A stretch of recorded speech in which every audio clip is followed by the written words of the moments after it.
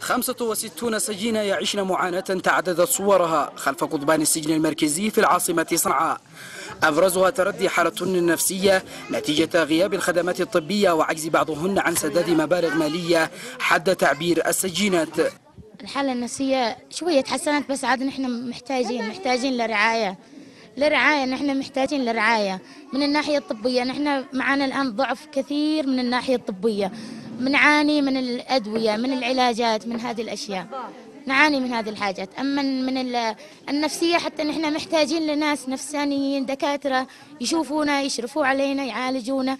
لأن في بعضهم تكون ال- الحاجة هذه اللي غصبتهم لدخول هذا المكان هو مرض. أو ضغط. وضع المعسرة يعني صعب جدا. فراق أهلها فراق أبنائها فراق يعني أهلها. ثانيا يعني مثل ما يقولوا ما باليد حيلة. عندما تكون هي في هذا المكان كيف تستطيع أن تسدد المبالغ التي عليها؟ يعني لا شغل ولا شغلة ولا تقدر تعمل أي شيء. التخفيف من معاناة السجينات المعسرات وغيرهن في هذا السجن.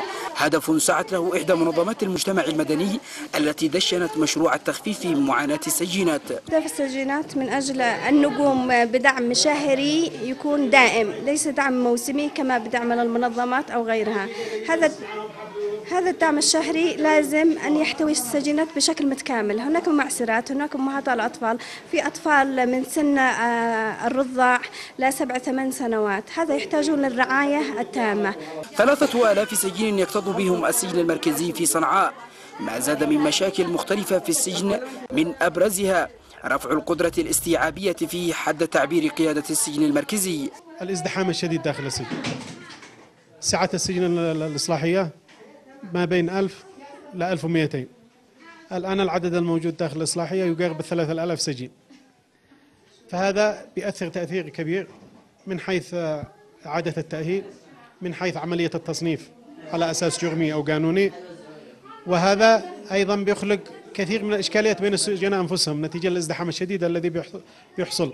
وأصبح معظم نزلاء السجن وفي مقدمهم المعسرون بحاجة إلى دعم ومساندة رجال الخير والإحسان لإخراجهم من السجن لينعمون بالحرية. مختار الخطيب اليمن اليوم. صنعاء. نفذ أطباء ومنتسبو مستشفى الشرطة الأنموذجي في صنعاء وقفة احتجاجية للمطالبة بتسوية أوضاعهم وتحسين وضعهم